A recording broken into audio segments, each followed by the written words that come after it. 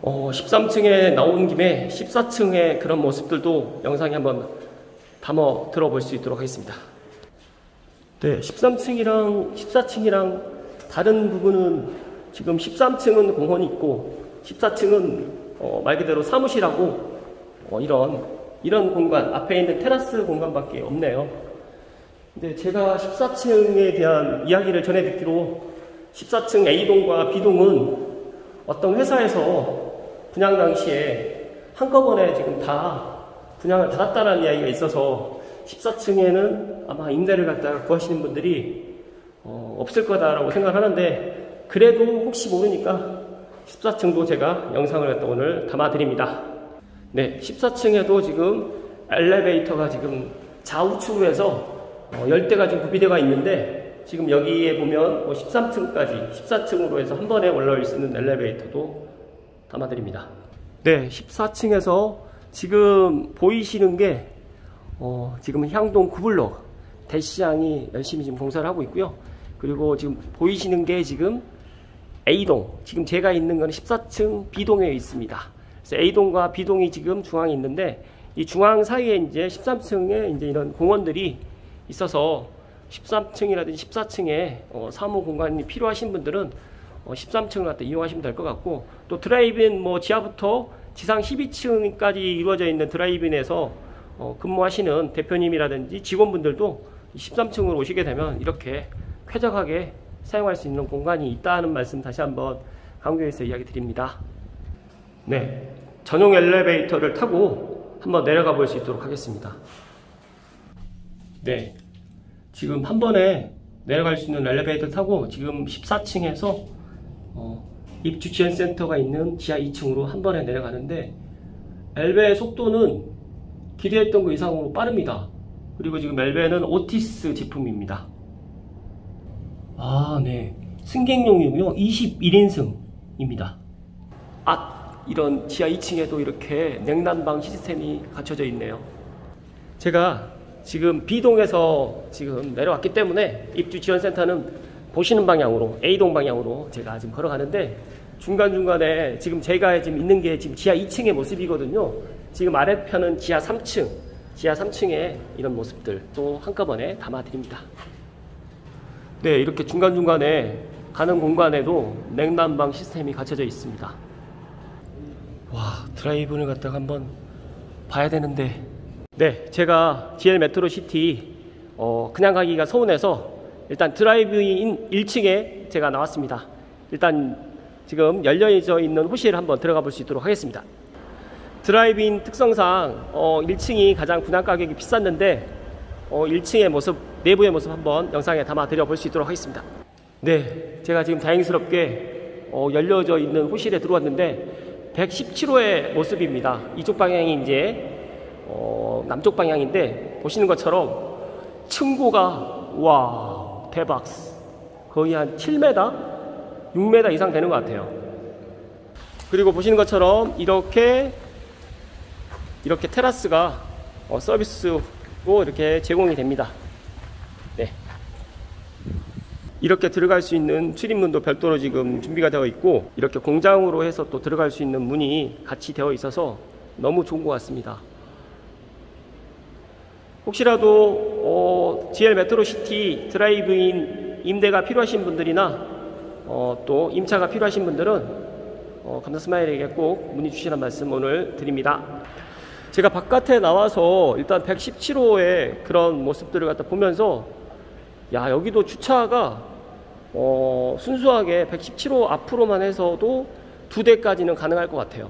만약에 어, 앞쪽으로만 해 주차를 한다고 하면 한 대 한 대, 두 대, 세 대, 네 대까지 가능할 것 같은데 차량이 이동을 해야 되기 때문에 이렇게 옆으로 해서 주차를 하게 될 경우에 충분히 두 대까지는 가능할 것 같다는 말씀드리고 또 승하차를 또 하시는 분들께서는 이렇게 뒤쪽으로 해가지고 들어갈 수 있게 지금 되어 있어서 어 일단 층고도 높고 여러 가지 컨디션이라든지 이런 드라이브인에 대한 어 수요는 향동 GL 메트로 시티에 많은 사람들이 찾게 되지 않을까 그렇게 생각을 합니다. 지금 보이시는 게 지금 어, 현재는 지금 올라가지 않게 되어 있는데 이렇게 바로바로 바로 올라가고 내려갈 수 있게 빠르게 오르고 오르고 내려갈 수 있게 이렇게 되어 있는 시스템. 여기는 내려갈 수 있어요. 네. 이쪽으로는 내려만 가는 길입니다. 와, 영상으로 제가 지금까지 지금 지식산업센터 드라이브인을 많이 지금 다니고 영상에도 담아 드렸지만 GL 메트로시티가 단연코 어, 최고로 지금 압도적인 스케일과 웅장합니다. 어, 많은 사람들이 향동에 있는 GL 메트로 시티 어, 입주에 시작을 했기 때문에 관심을 가질 것이라는 말씀드리고요. 감사 스마일이 어, 현장에서 입주 첫날 이야기를 드렸는데 아직까지 좀 미흡한 상황도 일부 보이는 것 같은데 이런 것들도 아마 입주 지정 기간 내에 보완이 될 거라고 생각을 하고요. 또 감사 스마일 듣기로는 어, 지금 많은 업체들이 실입주 업체들 포함해서 임차를 갖다 구하시는 분들이 정말 정말 많다는 말씀을 좀 드리고요. 말씀한 순간에 지금 차량이 한 대가 용달차가 올라오는데 어, 제가 한번 보여드릴게요. 야 이렇게 지금 올라오네요. 바로 이제 지하 1층에서 1층으로 지금 올라오는 모습. 그러면서 지금 바로 올라가면 어, 저렇게 1층으로 지금 올라가는 것들이 뭐 실시간으로 12층까지 올라가더라도 그렇게 많이 올라가는데 시간이 걸리지 않을 것 같아요.